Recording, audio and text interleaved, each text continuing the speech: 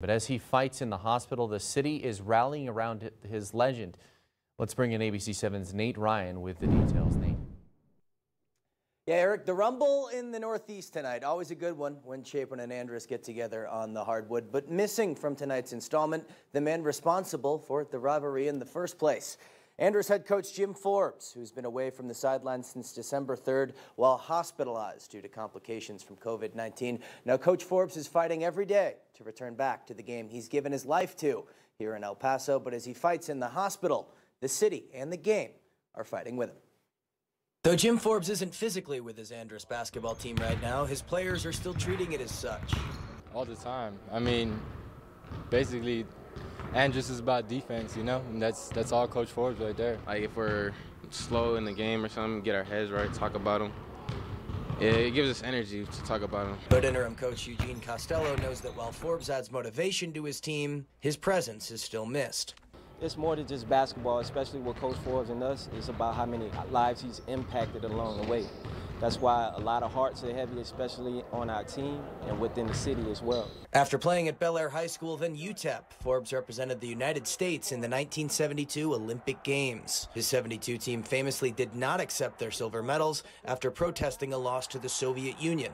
But you might not know about his playing accolades. You could talk to him for a day, a whole day. You could follow him around and you'll never know how great a player he was because he'll never talk about it.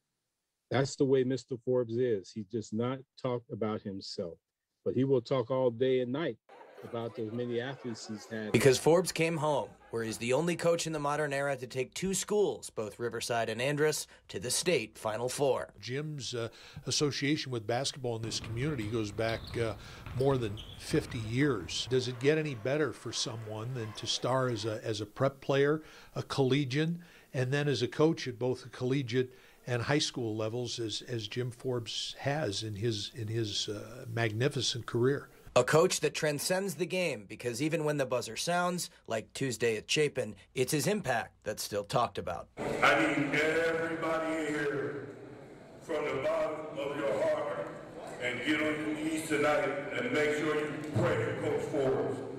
Without a doubt. Yeah, that was Chapin head coach Rodney Lewis taking the microphone at the scores table following that game tonight. I'm told Forbes is progressing by day. Yesterday there was good news in terms of progress at the hospital, but everyone in the community rooting for Forbes. Adrian Ochoa has those game highlights from the Northeast, Anderson Chapin. You don't want to miss those because those Eagles came out playing inspired. Chapin, the best team in the city. This was just a one-point game at halftime. The, the highlights, you're not going to want to miss those. I know Doppler Dave dialed into the local scene, guys. good to see that good update, though, Nate. And uh, you know what? I, am going to call it now. I think the highlight of the night is what we saw at the end there, taking that moment to address the crowd and everyone coming together, showing it's, some unity there. It's such a big rivalry, so for them to stand united on this one important moment, it, it really means a lot. Well, as Nate mentioned, Doppler Dave is here yeah. now with our look at Storm Track weather. Doppler. Yeah, and prayers for uh, Coach Forbes. Absolutely. What a uh, great coach he is. Yeah.